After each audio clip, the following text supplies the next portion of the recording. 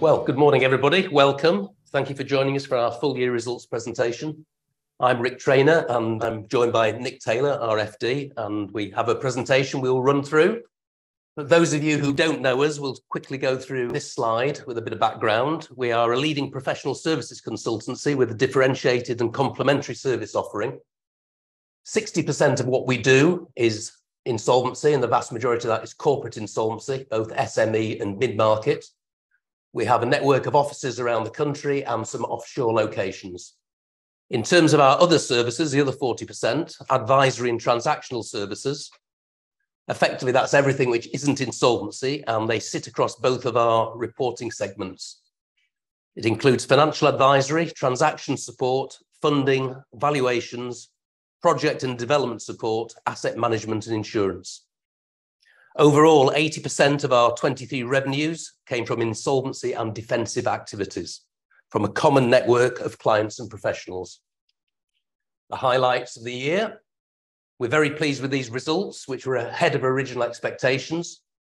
Double-digit revenue and profit growth across both divisions, increased insolvency appointments, and an enhanced mid-market reputation. Acquisitions in finance broking and property advisory. Organic growth in property, reflecting resilient nature of services. A further improvement in operating margins. We continue to generate substantial free cash flow, funding our dividends and acquisition payments. We've recommended a 9% increase in the dividend for the year, which is the sixth year in a row of increased dividends. The group is in a strong position and confident of a further year of growth. So in summary, a further successful year, continuing to build on our strong track record of growth, having doubled revenues and tripled profits in five years since 2019. I'll now hand over to Nick Taylor to go through the financial and operating review. Okay, thank you, Ric. We start on slide five with the financial highlights. We have revenue growth of 11%, which has come through a combination of organic growth and acquisitions, giving us revenue for the year of 121.8 million. We've improved our operating margins, 17.9% in the year. That's a 1% uplift on the 2022 position. That's come from improvement in both divisions, and that's building on our history of margin progression. If you go back to 2019, those margins were 13.3%, so we've made real progress in the last few years of improving the margins of the business. Over the course of the last year, central costs as a percentage of revenue have been maintained at 6.5%, and that's whilst we've invested in our IT and HR capability in the group. Adjusted pre-tax profits up by 16%. That's having absorbed a 300,000 pound increase in interest costs over the course of the year, giving us adjusted pre-tax of 20.7 million this year. Tax rate nudged up slightly to 21%. That's reflecting the increase in corporation tax rates that came in for the final month of our financial year, giving us a growth in EPS of 15% to 10.5p. And with our increase in dividend of 9%, we're doing that whilst increasing our dividend cover to 2.8 times from 2.6 times last year. And our net cash of 3 million is having paid 10.6 million of acquisition payments and 5.4 million of dividends. So on the next two slides, we'll look at performance by our two operating segments, starting with insolvency and advisory. The non-insolvency activities in this division include financial advisory. These are activities that are very closely allied with insolvency, the likes of restructuring, debt advisory, and forensics. Our newly formed funding business, following two acquisitions over the course of the last two years, and our corporate finance team. In terms of the numbers, we've seen revenue growth of 10%. The organic growth of 6%, principally coming from an increase in insolvency activity, and we saw the benefit come through from the Mantra acquisition towards the end of the first quarter. Our margins are up to 26.8%, a 1% increase, and that's given us a profit growth of 14% in the year. And you can see the chart on the bottom right of the slide, showing the profit growth that we've delivered in this division over the course of the last three years. Looking at the movements in revenue, the revenue from formal insolvency appointments increased to 70.6 million. That increase in insolvency appointments benefited both in-year revenue, which was up by 10%, and also our order book, which positions us well going forwards. And that order book number of 35.2 million we're quoting tends to increase as cases progress. So as we realize more assets or we're successful in litigation, there'll be more value in the case, more value to creditors, and our fees will also increase. The prior year performance was enhanced by an exceptionally high level of personal insolvency activity, which gave a pretty tough comparative for financial year 22, where there was an extra 1.8 million of revenue in that year. What we've seen this year is personal insolvency normalized to 5.5 million. So That's about 8% of revenue, and it's typically been under 10% of insolvency fees across the years. Within advisory, our revenue increased by 4.4 million to 19.1 million. That's a record level of revenues from advisory within this division. That's 20% of divisional revenue, and that was principally driven by the acquisition of Mantra. A reminder, that's an FCA-regulated finance and insurance brokerage, which has performed well in the year and in line with expectations. And our headcount in this division at the end of the year is up to 664 from 590. If we move on to property advisory and transactional services, this is our chartered surveyors practice. Revenue growth of 12%, principally driven by acquisitions, both acquisitions in year and the full year impact of last year's deals. We've also seen 3% organic growth, which reflects our resilient service lines in what's been a pretty challenging marketplace over the course of the last year. Margins up in this division as well to 18% from 16.8% last year, and that's given a profit increase of 19%. And as you can see from the chart at the top, in this division as well, we've made good profit progression over the last three years. So looking in a bit more detail at the various services we provide in this division, starting with transactions, which accounts for about 35% of the revenue. We've had a good year. Our mix of activities and clients has proved resilient against the many headwinds that have been around the marketplace.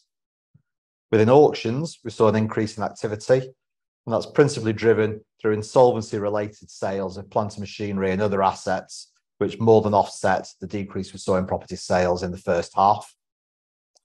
We've invested in our property auction team, did an acquisition in the second half, a team from Mark Jenkinson & Co, which is a Sheffield auctioneers, which complements our existing team, which is very much based across Manchester and Leeds, and increases our coverage down into South Yorkshire. And you would typically expect in the current economic cycle that we'd see more properties sold through auction. So we should see this team getting busier over the course of the next couple of years. Our commercial properties team increased from acquisitions and organic growth. The adverse impact of the mini budget, which saw quite a lot of transactions stall in the autumn, saw those pick up and come back through over the course of the second half. And our client mix, which tends to be SMEs, independent landlords, property sizes which are relatively small, so capital values up to 2.5 million, and the fact that half of our agency fees come from lettings does tend to mitigate the market volatility that you would see elsewhere for agency services. And within business sales, which is our estate agency for small businesses, transaction levels were robust, and we saw that absorbing the market impact of higher interest rates. Our projects and development team, which is about 25% of income, a range of consulting services in here, which includes project management, building surveying, transport planning.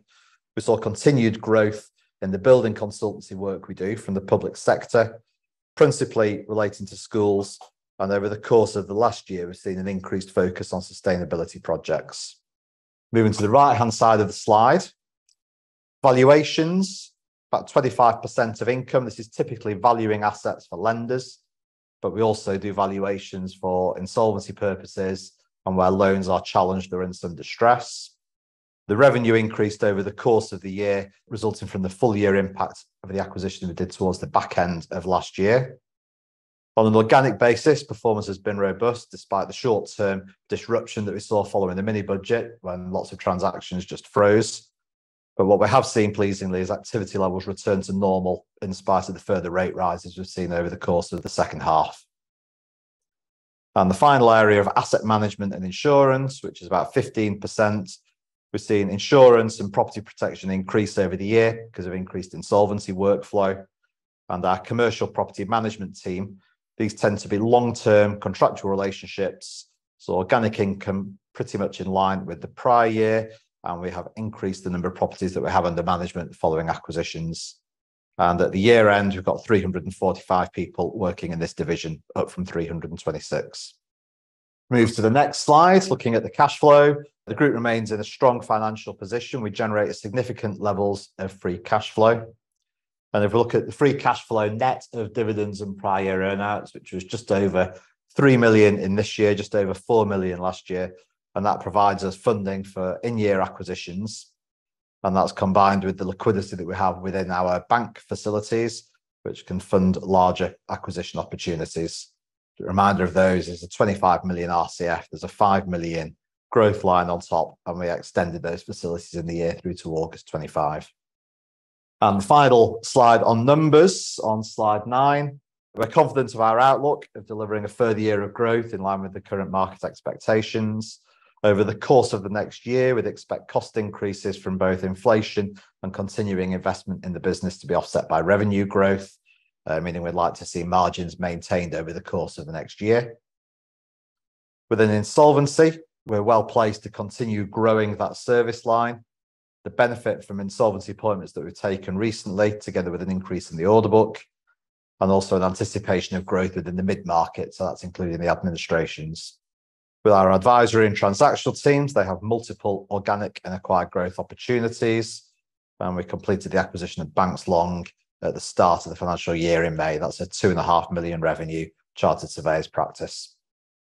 And with our cash generation, strong balance sheet, and facility headroom, we've got plenty of ability to invest further in acquisitions and organic growth initiatives, and we will do an update at the AGM in September 23. So it's been another good year, good set of numbers, and I'll now hand back to Ric.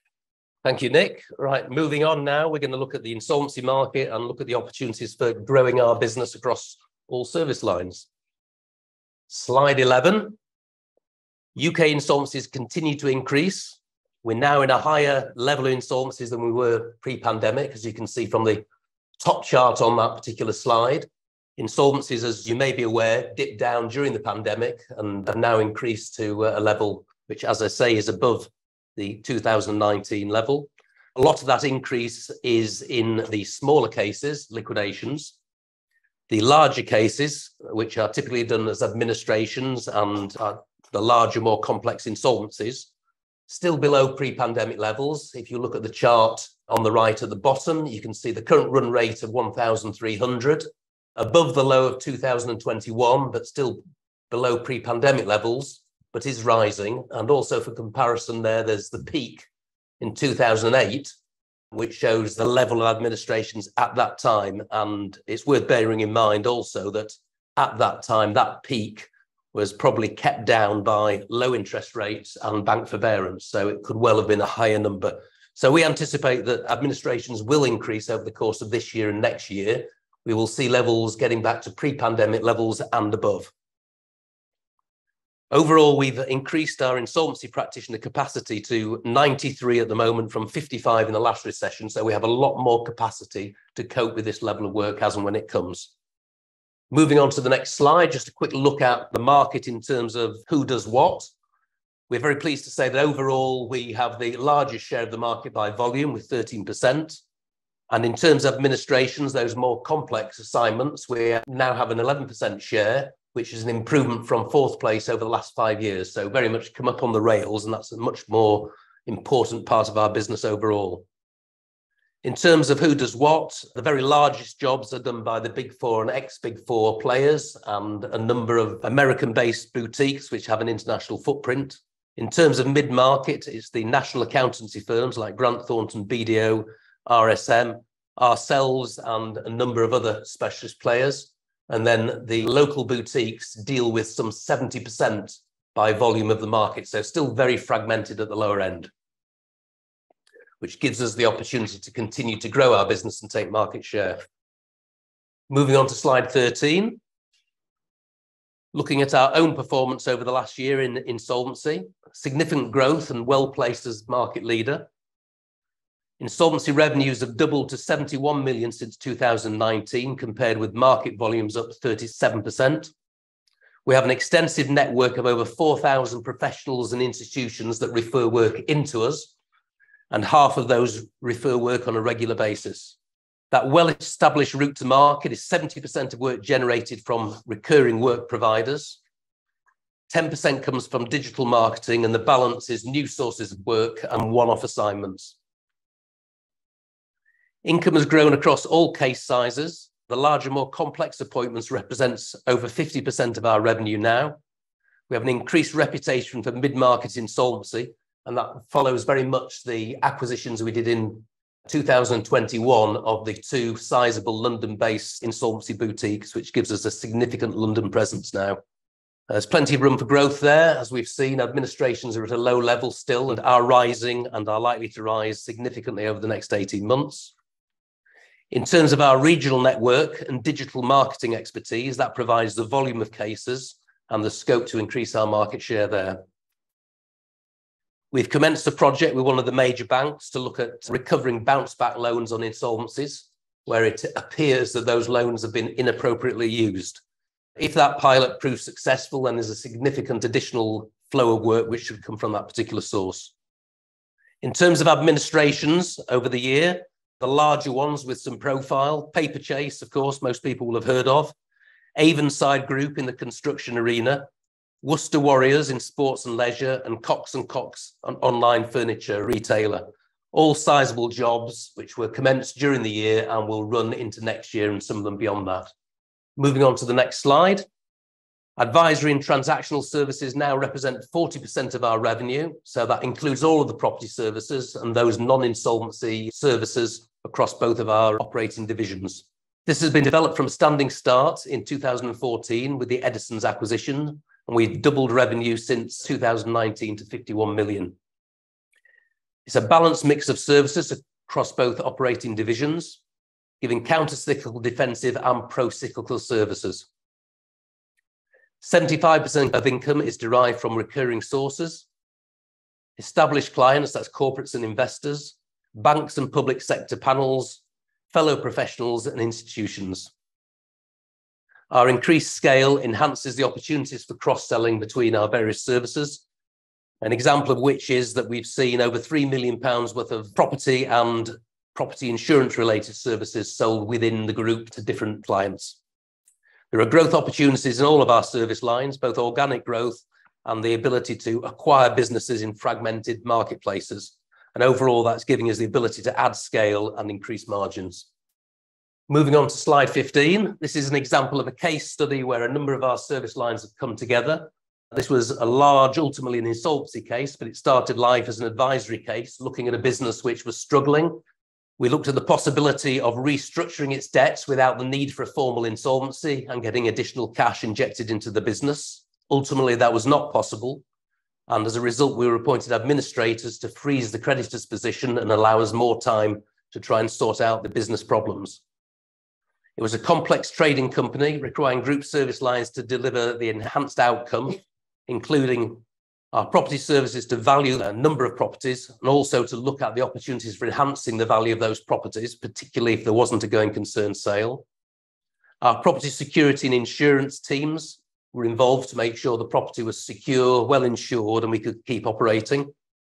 Our debt collection teams assisted in the book debt collection for the trading business, and our forensic team are investigating the prior insolvency periods to ensure that all assets have been identified to maximize realizations.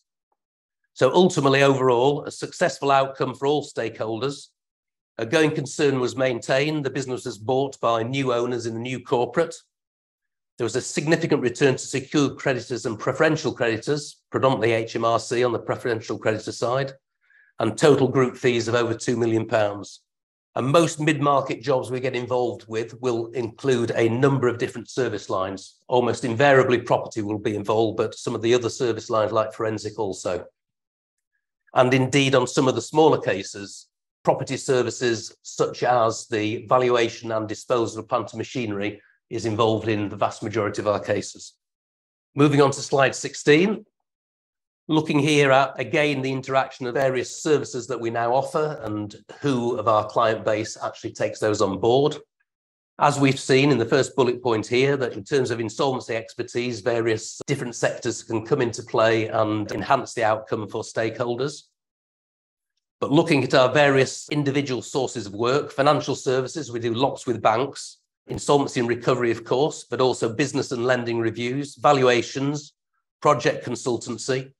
And this is complemented by the funding placed through brokerages. So the brokerage we now have on board are on the broker referral panels for the bank, and we pass work to them. Um, approximately 800 million pounds worth of work was passed in the last year, and that means it's a very good two-way working relationship with banks, which means that we can generate more work from them as well as giving work to them. In terms of property owners, they use our funding expertise, asset management and insurance, building consultancy, acquisition and disposal, and lettings. And for corporates, insolvency and restructuring advice, funding and debt advisory, M&A, property and insurance. All our services are operating from a common IT platform. Many operate from the same offices. There's a group-wide support team, including regulatory compliance and a shared network of clients and introducers. So there's an integration between our services, both in terms of back offices and also in terms of our route to market. Looking at strategy, a proven growth strategy enhancing shareholder value. We intend to do more of the same. It's been very successful for us over the last five years, as we've said. So, in terms of organic growth, retention and development of our existing partners and employees, extremely important. Recruitment of new talent, enhanced cross selling of our service lines and expertise to a wider client base, as we've discussed, and investment in technology and process to enhance working practices and improve the services to our clients. In terms of our acquisition strategy, we're looking for value accretive acquisitions in any of the following segments insolvency to increase our market share, advisory and transactional services to enhance expertise and geographical coverage, and in complementary professional services businesses to continue the development of the group and its service offering. Acquisitions accelerating growth. As we can see from this chart, that doubling of turnover from 60 million to 22, approximately 60% of that came from acquired growth and approximately 40% from organic growth. We're well established in terms of the process we have for identifying, valuing, and acquiring businesses, and most importantly, then integrating them into our business, sharing that common platform and working with our existing colleagues. We've made 12 value enhancing acquisitions over this period, delivering revenue and operating synergies. Cash generation, strong balance sheet, and facility headroom underpin this capacity for further acquisitions. We anticipate more of the same happening in this current year and beyond. Moving on to the next slide, we can see here our five-year record, 26% annual increase in average growth rate, moving from 60 million to over 120 million of turnover, adjusted profit from 7 million to just under 21 million, increasing the adjusted basic earnings per share from 4.8 to 10.5, and a 10% cumulative increase in the dividend to 3.8p for the year that's just gone. Over that time, the share price has also doubled, and we're looking to continue this overall track record moving forward.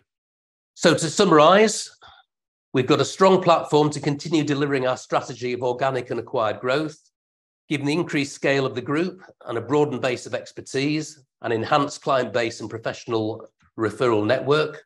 We're well positioned in the current macroeconomic climate with 80% of our income from counter-cyclical and defensive activities. Significant financial capacity to deliver our strategy with organic growth opportunities across the group and a good pipeline of acquisition opportunities across fragmented marketplaces. We're confident of delivering current market expectations for future growth. And just to summarize, ultimately, we're extremely pleased with the year's performance and we're looking forward to more of the same moving forward. And if there are any questions in the room, we're happy to take those first and then other questions from those listening in. Sam. Hi guys, uh, thank you very much for the presentation. A few questions for me, please. Uh, firstly, on near-term M&A, is there any sense of where that's more likely to be? Is that on the property side? Um, well, it's, it's across the board. So we're looking at actively looking at um, opportunities in insolvency, or they they they will only be small uh, because that is the nature of the uh, the fragmented marketplace now. On property, um, it could be small, or there are opportunities for some some more medium-sized acquisitions. It's a much much bigger marketplace, and there's lots more to go out there. And we're also actively looking at our other existing service lines where we think there's uh, M&A opportunities. Cool. And then on the, the five year view, I think you said acquisitions were 60% of growth. Yes. Do you think that's how the trend will be in the next five years? Is that how you sort of see things? I think it's likely it will be, yes. And then finally, on the, the bounce back loan opportunity, can you give a sense of how that's progressing? I think one of your listed funding peers mentions it now and again. So is that do you get a sense is this the year you'll know if that's a bigger opportunity or? Uh, yes i think so yes yeah. It's, it's early days with that. We are starting to see some success mm-hmm. um, but i think by the end of this year hopefully by the end of this calendar year we'll be able to assess whether it's something that really the banks will want to push both in terms of the existing bank we're working with and other banks will see that as an opportunity to get a better recovery. And is your fee from that attractive potentially? Uh, yes it is yes yeah yeah yeah. So we've we've, we've in that particular instance, we've agreed a, a, minimum fee per case, and then obviously there's a share of any success there would be in actually achieving recoveries. Just to follow up one on the M&A point. So your comment about the insolvency market, only kind of small opportunities there now. So you're not seeing those slightly bigger opportunities like CVR, DR, DRP. Are they, are they kind of not available in the market anymore? What um, has changed there? Well, well, there were relatively few of them, so they were uh, pretty uncommon, and they've almost all gone now. There are there are one or two, but at the moment they're they're firmly uh, remaining independent, despite having been approached by us and no doubt one or two other people, I suspect. Yeah. Um, but it is literally one or 2 mm-hmm. and below that it's a fairly significant jump down to there's probably a few businesses which are up to 5 million turnover, mm-hmm. but the vast majority will be 1 and 2 million turnover businesses. Thank you. And the other one was on retention. How, how easy or difficult are you finding that? Is that one of the kind of key things to think about with respect to wage inflation? Yes, it's very important. Um, in terms of senior people, I'm pleased to say we have been very um, successful in re- retaining senior people. We're definitely seeing more movement now in typically two or three years experienced uh, junior members of staff. The insolvency profession, which has been quiet for some time, is starting to gear up again for obvious reasons. And that means uh, junior staff with some experience are hot property. I just wonder when you think about your uh, M&A outlook, how you think about um, debt versus equity, particularly given what's happened to um, rates and the cost you're, you're, you're paying for this, how you think about that. And then I just wanted to explore a little bit the, the margin improvement. So very healthy margin improvement year on year, 22 to 23. And you're signaling kind of maintaining the margin this year. So what are the um, what are the various sort of pushes and pulls on that? Okay. Well, if we start with um, how how we fund M and A, uh, clearly, we have a significant facility which is unused at the moment. Um, it's obviously become more expensive to use as interest rates have gone up. Um, we certainly would want to keep a significant element of that available for working capital if insolvencies rise um, rapidly. Uh, but equally, uh, we're comfortable using some of that for, for our M&A, in addition to the cash that we're naturally generating in the business, which will go towards um, our M&A acquisitions if there are any sizable um, uh, opportunities, it may well be that we look at some sort of mixture of using our debt facilities and equity raise. For the moment, given what we're looking at over the over the short term, uh, we feel very comfortable our cash generation and available facilities will cover any uh, of the, the M&A that's likely to happen over the course of certainly between now and Christmas and probably now the end of the financial year. And in terms of the margin question, Nick, do you want to uh, deal with that? Yeah. So the, if you if you look back at where the margin enhancements come over over a period, it's come from partly leveraging of the group's fixed costs. So as as the top line has grown, the finance, IT, HR teams haven't grown proportionally with that. So that's been a big driver. That's flattened out over the course of the last year because we put a bit of investment in and scaled those teams up when you look at the segmental margin, uh, insolvency has grown pretty much year on year over the course of the last few years. And that's really just as we've been growing the top line, a lot of the fixed costs in the division haven't grown with it. And similarly within within property, as we've been adding, so the property cost, the sort of the fixed real estate costs of operating the business and things have stayed where they are. I think as we look forwards over the course of the next year, because of the combination of salary inflation that we'll see in the new year and also some organic investments where we're bringing new people in. And there's clearly a level, there's a period of time where they need to settle in and deliver their return. Then we'd expect that the margins will probably be pretty flat over the course of the next 12 months. So we've got a question from Peter Renton at Cenkos. How do you see your market share in volume of administrations progressing over the coming years? Do you expect to reach the number one position? And if so, what gives you the confidence in reaching that milestone? And if not, why not? Well, we haven't set a goal to be number one in administrations. I think that certainly we will increase the number that we do, and we'd like to think we'll increase our market share. Um, there are other people who are very active in that marketplace and very successful at it. Uh, and we'll be happy if overall we we do improve our share, but we improve the increase the absolute number that we get, but also we increase the volume side of the business as well.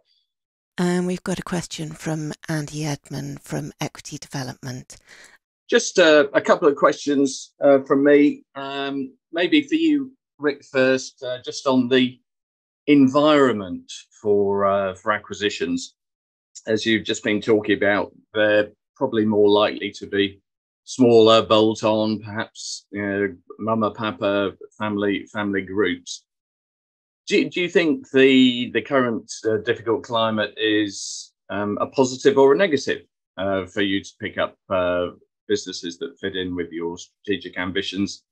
In that perhaps people might want to hold off for better times to get top dollar, or they may be realizing that uh, being part of a larger group and the cross-selling opportunities is a, a, better safe haven. Yeah, well, I suspect, Andy, both of those are true. There will be businesses who will look at it and say now is not the right time.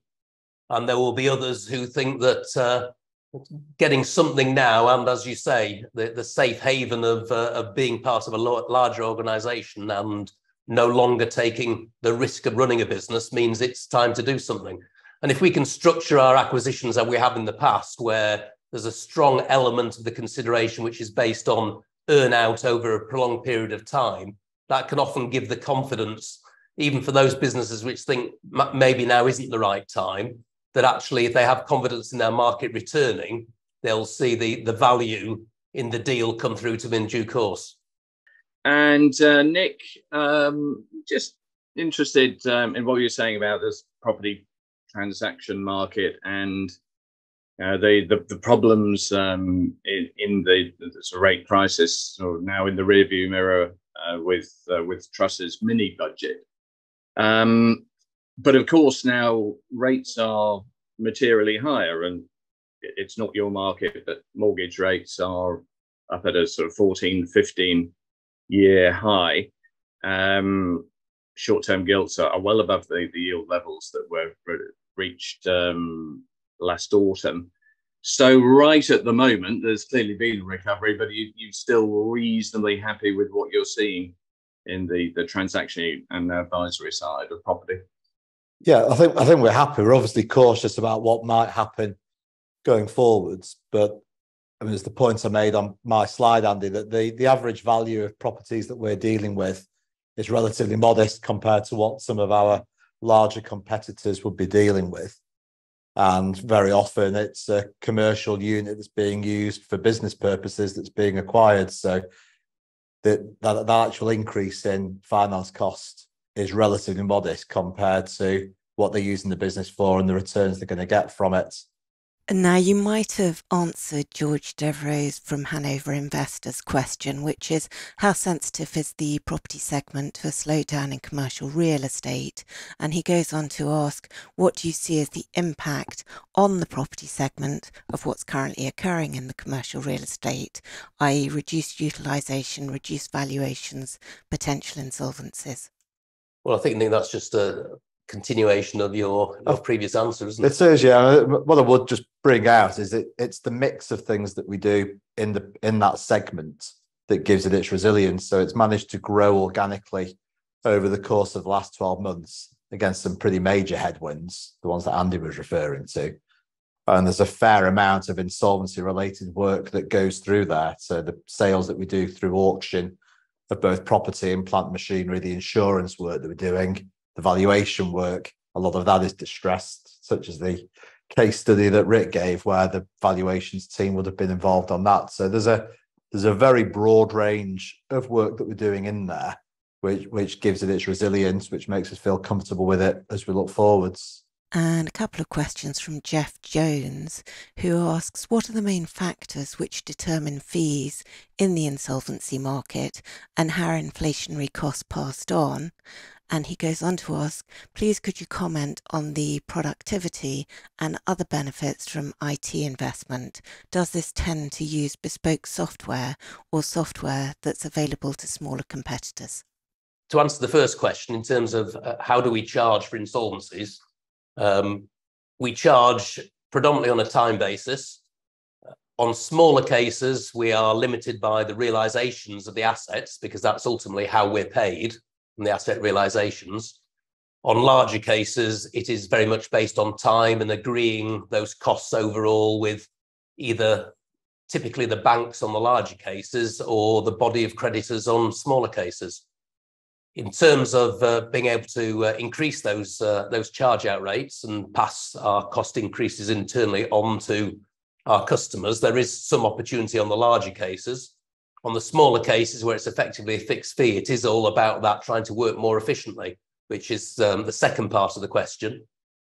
Uh, there is very limited uh, bespoke software available to uh, the insolvency profession because it's so small. It's not really in the interests of many organizations to uh, invest the time and effort to uh, try and compete for a, a, limited market. So we developed some um, opportunities and uh, systems ourselves, sometimes on the back of readily available Microsoft type uh, products, but in house developing those to make sure they work for us. So they're not things which are readily available to, to everybody. And um, ultimately, we think the investment that we'll make in it will benefit us compared with our competitors. And a question from Gavin Laidlaw from Stockwatch. How bad could things get for the economy? That's a real difficult one. I mean, if you looked on a worst case basis, you would say that uh, the last peak in insolvencies in what was termed the Great Recession was about 26,000. But as I mentioned in the presentation, that was uh, uh, kept down by low interest rates and um, low inflation. Uh, we now have high inflation and increasing interest rates. So we could well see numbers um, go up to a much higher number. They were up to almost 30,000 in the 1990s recession, uh, when the population of businesses was significantly smaller than it is now. So we could easily see the numbers go up uh, to the, the high 20s and possibly beyond. Thank you very much. And that's the end of remote questions. Okay, well, thank you very much. Thank you to everybody both in the room and joining us dialing in. Um, I'd just like to reiterate we're very pleased with our year's results and we're looking forward very much to uh, the, the coming year, which we've already made a good start on. Uh, thank you for joining us and I hope you all have a wonderful summer.